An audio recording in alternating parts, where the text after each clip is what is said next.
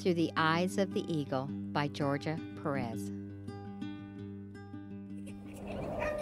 A young Indian boy named Rain That Dances lived in a small Indian village. The village was near the foot of a high mountain. The big city was not too far away. Rain That Dances was a happy little boy. He liked to play with his friends. He also liked to sing and dance with the men in the village. On this beautiful day with the sky so blue, Rain the Dances was fishing along a small stream. As he waited for the fish to bite, he saw a great bald eagle. The eagle was resting on an old tree stump not far from where he sat. Rain That Dances had never seen a great bird like this so close. Now, eagles always fly away when a person comes too close, but for some reason, this great bird just stayed where he was as Rain That Dances approached him. Rain That Dances thought, maybe the eagle was hurt and couldn't fly away.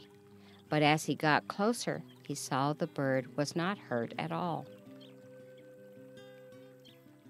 Mr. Eagle, what is wrong with you? I'm just too tired and sad because of all the things I see as I fly around this great land. What do you mean? I look around here and it's just beautiful. See, the sun is shining. There are beautiful white clouds in the sky. The river has plenty of fish for you to eat, even though the fish won't bite my fish hook. So there's nothing to be sad about. You're right. It still looks beautiful. The great bird paused as he thought about the stories the old wise eagle used to tell about the things he saw as he flew around. Things had changed. As I soar high above the clouds, I see the beauty of the world around me. I see the high peaks of the mountains. I see the valleys below where the waters flow in the rivers. I have seen Brother Sun greet each morning of a new day with sunlight. I have seen him say good night as Sister Moon comes to light up the dark sky. The old wise eagle told me stories about the things he saw with each new day. He saw the bear, the buffalo, and the deer, and he saw your people being very active. Those days were hard, but your people all worked together and shared everything. Hard work and being active was a way of life for everyone.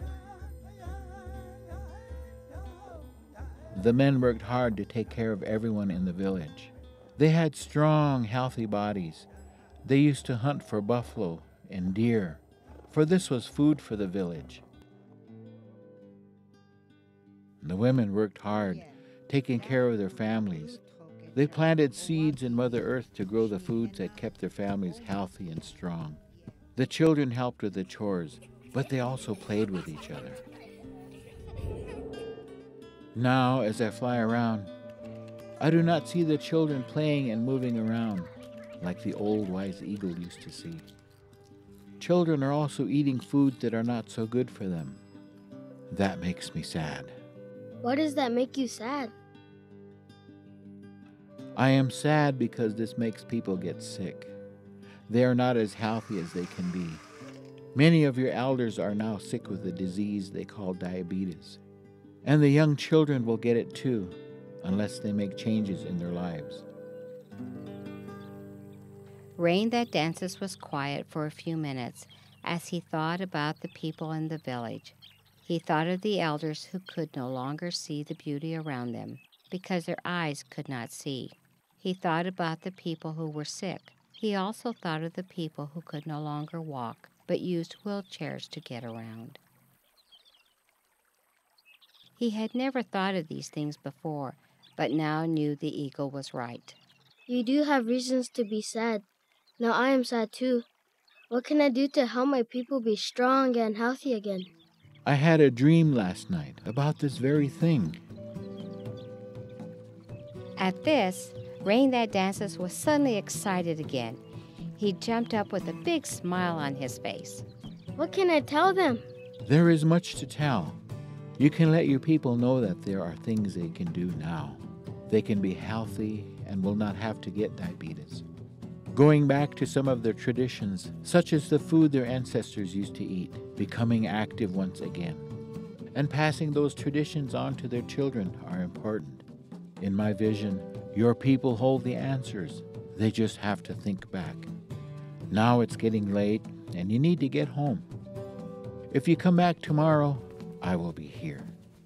I will tell you more of what your people can do to be healthy and strong again. Rain that dances left the eagle. He will come back the next day. He knew what the eagle was telling him was true. He had seen his people get sick with this disease. Now he has a chance to learn what his people can do to be healthy again. He also has a new friend, the great bald eagle. Rain that dances waved goodbye to the eagle, and as he walked away, he said, Tomorrow is a new day. I'll see you tomorrow, and I'll bring my best friend with me. To hear more of what I have to say, please join me, along with Rain That Dances, in Knees Lifted High.